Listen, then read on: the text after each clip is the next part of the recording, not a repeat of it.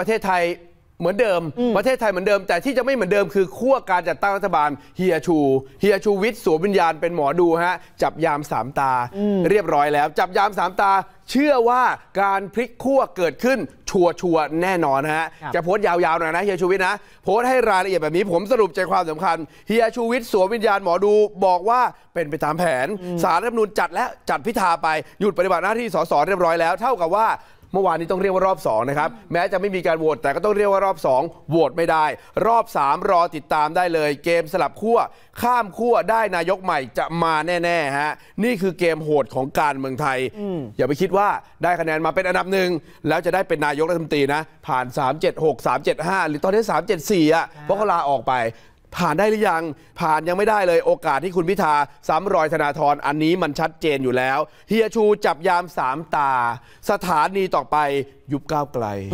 ยุบพักก้าวไกลแล้วนั่นไง พอยุบพักก้าวไกล เขาเขาคือ8พักข้าวต้มมัดอะเขาตั้งรัฐบาลไม่ได้ยุบทั้งพักแล้วสสที่ได้เลือกมา ก็มันจะแหว่งแหว่งหายหายๆไปแล้ว นะฮะเพราะฉะนั้นไอ้ขั้วเดิมที่เป็นข้าวต้มมัดเนี่ยอ้าวเสียงมันหายไปแล้วนี่เสียงจะจัดตั้งรัฐบาลไม่ได้ แล้วก็เจอเจอกำแพงสวอีกเฮียชูบอกเลยว่า เมื่อตั้งรัฐบาลไม่ได้ การสลับขั้วเปลี่ยนข้าง เกิดขึ้นอย่างแน่นอนนะฮะนี่คือเฮียชูวิทย์กมลวิสิทธิ์ครับเฮียชูเป็นหมอดูเรียบร้อยโอ้โหแล้วเวลาเฮียชูออกมาคาดการณ์อะไรเป๊ะไหมมันมักจะแม่นด้วยนะ ผมว่าเฮียชูกับลุงตู่ต้องเปิดเอ้ยไม่ใช่ลุงตู่กับพี่ตู่ค่ะเปิดสำนักตู่จตุพรพรหมพันธ์ต้องเปิดสำนักช่วยกันแล้ว ครับอ่าเอออีกหนึ่งความเห็นคุณผู้ชมออกมาฟาดอีกแล้วนะวันนี้ พี่มอลลี่มอลลี่มัลลิกาห้ามเรียกติ่งอะเออเรียกไม่มอลลี่ได้ถูกแล้วเขาเปลี่ยนชื่อแล้วครับนะฮะชื่อในวงการให้เรียกเป็นพี่มอลลี่ออกมาฟาดบรรดาด้อมส้ม ที่ไปโวยวายบริเวณหน้ารัฐสภานะครับเตือนสติด้อมส้มบอกว่าเฮ้ยเขาเลือกกันเนี่ยเลือกนายกรัฐมนตรี ไม่ได้เลือกประธานนักเรียน ไม่ใช่ว่าได้เสียงมากสุดแล้วจะได้เป็นนายกฟังจากพี่มอลลี่มัลลิกาครับ ไม่เข้าใจว่าทำไมเราเลือกพิธาไปทำไมพิธาไม่ได้เป็นนายกรัฐมนตรีคะพิธาเนี่ยเขาจะไปเป็นนายก เลือกไปเป็นประธานนักเรียนโรงเรียนมึง คือคุณเป็นเล่นใหญ่กันเอง ไปตั้งความหวังกันเอง ไปเพ้อเจ้อกันเอง คุณไปแห่กันเอง เพราะคุณไม่ได้ในสิ่งที่คุณแห่แล้วคุณก็มานั่งนั่งโทษคนอื่นเขาสอห้าร้อยคน เข้าไปอยู่ในสภา สภาเดียวกันกับที่พี่ๆทั้งหลายเนี่ยไปนั่งล้อมกันอยู่วันสองวันเนี่ย นั่นแหละสอสอไปเลือกให้ คุณเนี่ยเลือกไปแล้ว เลือกสอสอ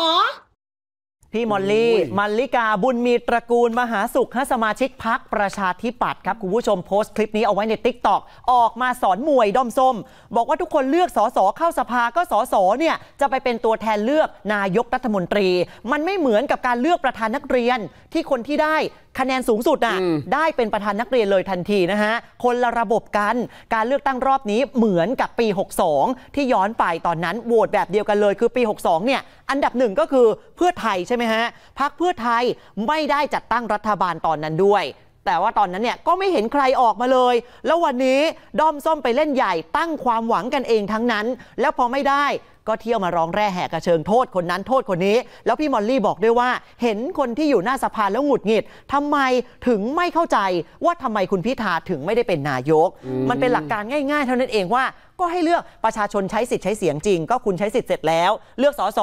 ทีนี้กระบวนการหลังจากนั้นเนี่ยก็เป็นหน้าที่สสสว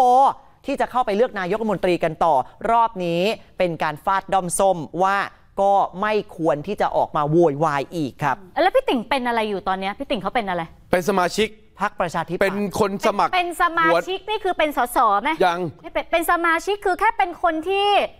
เขาจะสมัครหัวหน้า เออ แต่รอก่อน